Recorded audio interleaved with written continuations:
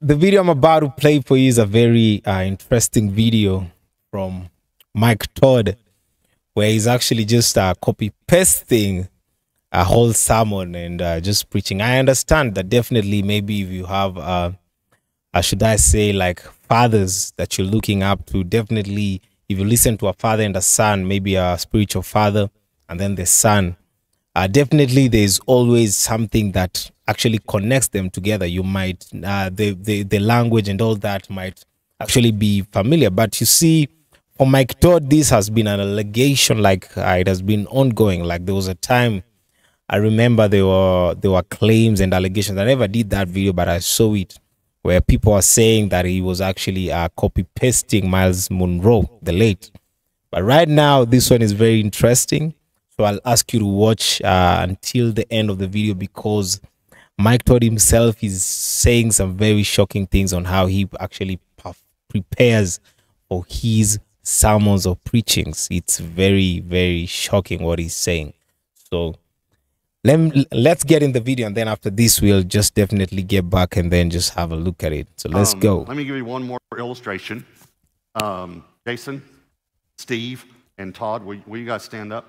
Hey, uh, Charles, Will, Scott, come here real quick. Last analogy, we going home. Uh, I'm going to give you an illustration. Let's say that I say to these three men, I'm, I'm going to go away for a while. And, um, and I've provided for Debbie, but I want to provide some additional funds for her. But I want to channel or funnel those funds through you three men. So I'm going to send all, each of you $10,000 a month. Okay? Jason, don't get that excited. This is just an illustration. Um, okay. Um, let's say I'm going on a trip. oh and, my um, God. I'm gonna be gone for an extended period of time. Y'all come right here. I'm gonna come be gone for an extended period of time, and um, I want to provide for Natalie, my wife, and um, I'm taking care of her, but I want to provide some extra finances just in case she gets in a spot. Um, and I'm gonna give each one of y'all ten thousand dollars every. Hold on, it's just an example. Same okay? amount of money Just an example, goes. Scott. Calm down. So, uh, I'm talking to Debbie Everett, and I say it to, to you, but I want you to give Debbie 10% of it, $1,000 a month, and you can keep the 90%. Just give my wife 10%. So I'm talking to Debbie every day and, and letting her know, you know, it's an extended trip, but I'll be back in several months. I have to be gone. And after about three months, I, I think about these other funds, and I say, hey, how are the funds coming in from the, the three guys? You know, and uh, she said, well, uh, Jason sends $1,000 a month. Just like you said, as a matter of fact, it arrives like January 1st, February 1st. I mean, he's like clockwork, $1,000. So good, good job. Okay. I'm gonna provide $10,000 extra for her through all of you. And all I want you to do is give her $1,000 each time I send you the $10,000. The other nine, you can keep. You do whatever you wanna do with it, but I just wanna give you um, that money, okay? And what if I talk to my wife every night? What's up, baby? How you doing? Oh, I miss you. Caking. Y'all remember caking? Okay, cool. So I'm I'm talking to her and I'm like, hey, you remember those finances that um, I was gonna have Charles and uh, Will and Scott give to you? How's it been going? She's like, yeah. So um, Charles sends a thousand dollars every first and fifteenth, like clockwork. It's like thousand dollars, thousand dollars, like it just keeps coming. I'm like, okay, that bet. Um, I said, well, what about Steve? He said, well, Steve is sending 2000 a month. 2000 a month? I, di- I didn't ask him for 2000 a month. I just asked him for a 1000 a month. I know. I said, well, why is he sending two? I don't know. He just sends $2,000 a month. I said, what about Will? Will, for some reason, sends two thousand. I was like, what? I was like, I just told him to send a thousand. I know, but every first and fifteenth he sends two thousand, and it's just been consistent all over. I said, well, what about Trader? Uh, Todd, sorry. Todd. I said, what, what, what, what about Todd? She said, well, we, we need to talk about Todd. I said, well, why? What, what's Todd doing? Well, the first month he sent 700. The second month, 400. And this last month, he didn't send any. And I was like, okay, so what about the thief? I mean, what about Scott? Ah, And he said, well, let's let's talk about Scott for a second. She said the first time he sent 700. The second time he sent five. And this last month he didn't send anything. And I say, what? God didn't send nothing this last month? He said nothing. I said, but I gave him the $10,000. Okay. I want you to think about this. Think about this. How do you think that makes me feel? And I'm giving him the 10,000 coming from me. And I just asked him for 10%. Tight oh, thing. He can keep the 90%. Hey, what, do you, what do you think I'm going to do? I'm, I'll tell you what I'm going to do. I'm not going to send him any more money because he's proven to me he can't be trusted. oh. And I'm going to take what I'm giving him and I'm going to give it to Steve and Jason because they've proven they can be trusted. Who would I stop sending resources to? Not, You're, you're not a bad person if you don't tithe. You're not a bad person. not watch this, not because he's a bad person, Yeah. Whoa. it's because he didn't do what I asked to be done with the resources. Now listen to me very carefully. Tithing might be more personal. Could it be said that tithing may be more personal to Jesus Whoa. than we think?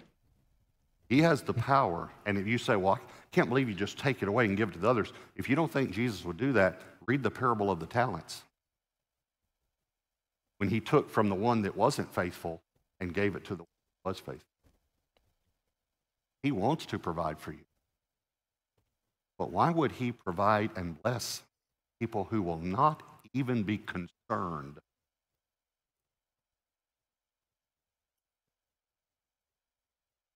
It's a test. Very important.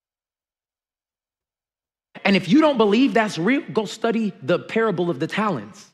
Yeah. Where God literally took from the one who did not do what he asked him to do, and he gave it to the ones who weren't. Now, listen, listen to me. This is an example of me trying to provide for my bride. But Jesus calls the church. Um, let me just, just to remind you is the church the bride of Christ? His bride.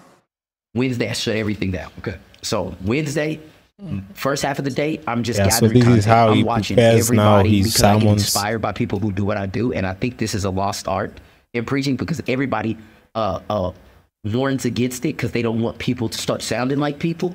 Can I be hot with y'all, humble, open, and transparent? I don't like studying to preach every Sunday. It is tedious work for me. I start on Wednesday to get to Sunday. And I'm working on Thursday and on Friday and on Saturday, and I'm tweaking up until 30 minutes before service on Sunday. Every week. I hate it. Um, let me give you one more illustration. Whoa, whoa, whoa, whoa. Yeah, so first of all, that example for tithing right there. Uh, for those who believe in tithing, then definitely that's a very, very nice example right there. But I know uh, Think currently it's a bit controversial to some people. They don't, for some reason, they feel that was a an Old Testament practice, and maybe they don't see the relevance of that in the New Testament. But that is something that we can discuss actually on a later video. This video is not about uh, it's not about discussing whether uh, whether we should tithe or we should not tithe. This was just uh, this video was just to show you uh, on how on how actually Mike Todd prepares these sermons, and you've heard him just say right there at the end of the video that um, he actually is not a fan of these preparation of all these long sermons. Like sometimes he has just to sit down from Wednesday, Thursday, Friday, Saturday, and even Sunday in the morning. He's there. He's just uh, wondering exactly what he should pray. You know, this raises uh, a lot of questions. First of all, there's uh, the book of uh, Timothy where it says that uh, you should study God's word so that you show yourself approved. And just uh, even as a leader, if you are a leader, you are a pastor, I believe you're, you're supposed to have first hand, first hand information of God's word. God should be the one speaking to you directly. I don't know how it is that uh, you you you someone else has to go and study and then now you come and then now you you're the one who's taking in that and then now you you as now the pastor you're going to copy paste that and then now you're sending it to the crowd. Because you see for the followers uh, i believe uh, people who follow you uh, they as, as much as they're following you there's something that god there's something that god has for them and then it's coming from you as their leader. It's coming from you as their pastor. So god is speaking through you to them but now the words that you are going to tell them is not directly yes i know maybe the person that you got the words from are from god and all that but this is not god speaking to you like direct. This is not the message that god gave you. This is the message that you are able to let me pardon me but let me just say you are able to cram and then now to share it now to these people because you can see that on some of these parts it's actually like a word to word thing. It's like a word to word. Just, think about it. He said it himself. He said sometimes he sits down from wednesday till sunday just to be able to get that message. And and uh, if you if if I, I, I, I wouldn't be able to play for you the other clip because it's a bit long but in that clip uh, on that the first interview where he was seated down on that seat uh, the podcast kind of style. There, he's where now he was talking about how really he gets now to his preaching, and there he's speaking about how he gets to listen to different people and borrows this and takes this and takes that and all that. So I don't know how this sits with you because I believe as a man of God, because if I'm in church, uh, what the man of God is preaching is what God has spoken to him, is what he's supposed to, uh, it's actually what I'm supposed to receive from him.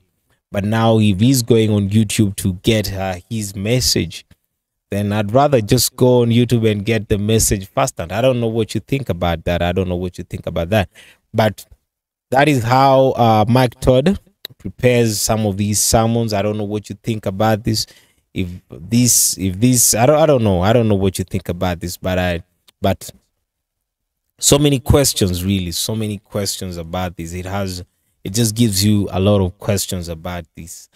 Uh, yeah, so that's what's up. I like to hear what you think about this right there in the comment section. But um, it's important for us to study God's word for ourselves, for you to have first and revelation and information for yourself, because definitely God expresses Himself different with different people. So yes, maybe He expressed Himself like the manner he did with uh, even Myles Munroe But revelation, revelation doesn't stop with that. There's still so much more in God. So uh, we are not yet supposed to call it quits and then just uh, just be all about uh, the late Myles Munroe or, about the late uh, XYZ or any, any of any because God expresses himself differently with different people. But but I can choose to be me. I can choose to dare and just take God's word and study and take it out there. You never know. You never know. You never know, yo. You never know. Yeah, but for Mike Todd, that is how it goes down. So I hope you've seen the video, but uh, I'd like to hear what you think about this right there in the comment section. Yeah, and let me know what you think as well about um, the concept of tithing. What do you think about tithing?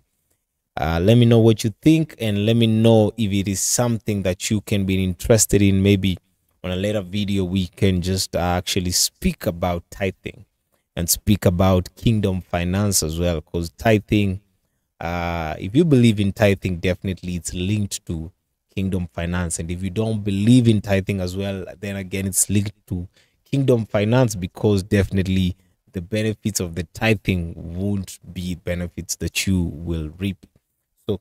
Let me know if that's a video that we can actually um, get to, if it's a video that's a subject that we can get in and discuss more about. So see you in the next video. If you have not yet subscribed, please I'll ask you to hit that subscribe button. Stay blessed.